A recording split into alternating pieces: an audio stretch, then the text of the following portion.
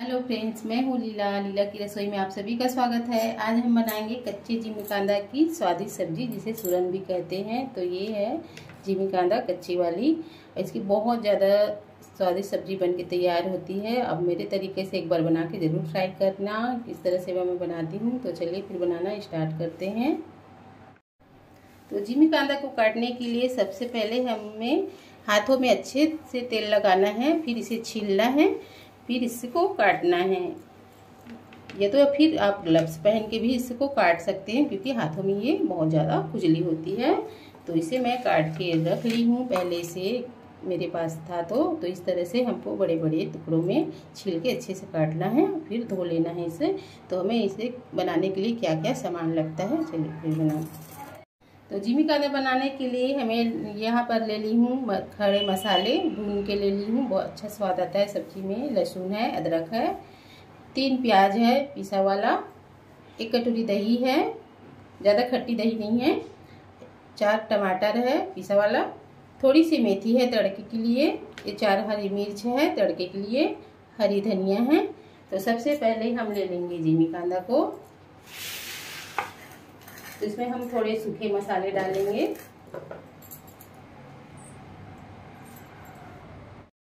तो यहाँ पर मैं डालूँगी आधी छोटी चम्मच सूखी मिर्च, लाल वाली,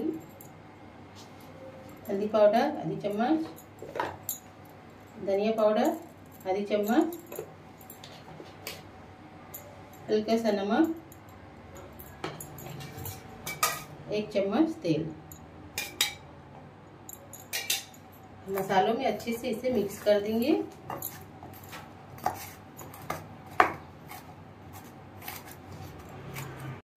तो इस तरह से हमें मसाले में अच्छे से मिक्स कर लेना है। तो कढ़ाई में तेल चढ़ा देंगे। तो तेल गरम हो गई है तो फिर फ्राई कर लेते हैं एक एक करके, धीमी खाना को पहले।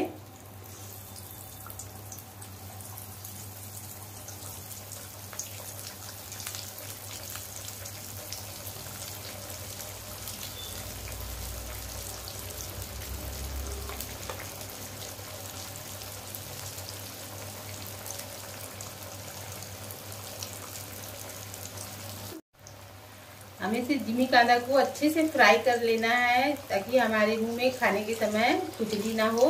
इसलिए अच्छे से इसको पकाना है तलने के समय। तो अच्छे से फ्राई हो गई है तो ये फ्राई करते ही समय इस जिमी कांदे को है पकाना है। और देख सकते हैं, चम्मच में आप काट के देखोगे तो आपकी जिमी कांदा जो है, अच्छे से ये पक गई है और कट रही है। तो इसी तरह से इसको फ्राई करना है। निकाल लेते हैं प्लेट में।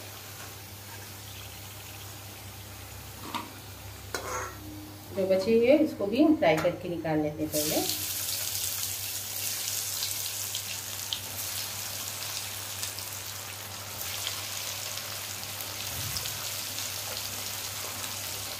अब इसे अच्छे से पकाना है, इसी तरह फ्राई करते समय है।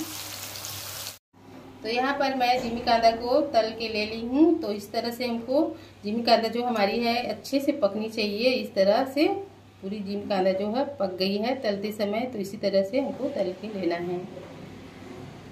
इसी में हम डाल देंगे एक चम्मच जीरा,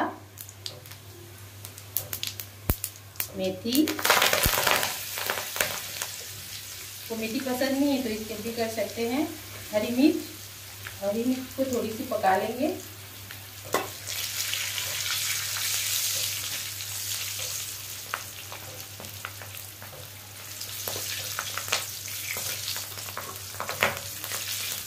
इसमें डालेंगे प्याज और प्याज को अच्छे से भूनेंगे लाल होने का क्योंकि स्वाद जो है अच्छे से खिल आता है। प्याज को अच्छे से भून लेंगे।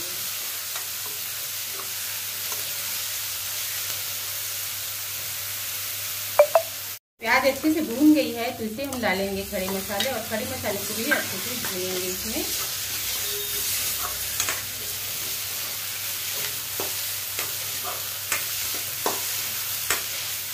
जब खड़े मसाले जो है, भून गई है। इसमें मैं डालूँगी टमाटर। और कुछ सूखे मसाले। इसमें डालेंगे मैं हल्दी पाउडर,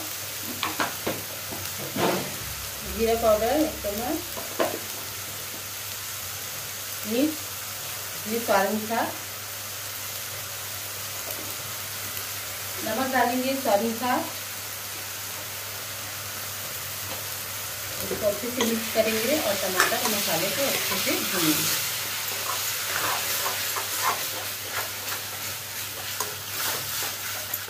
मसाले जो है अच्छे से भून गई है तो देख सकते कढ़ाई छोड़ने लगी है मसाले।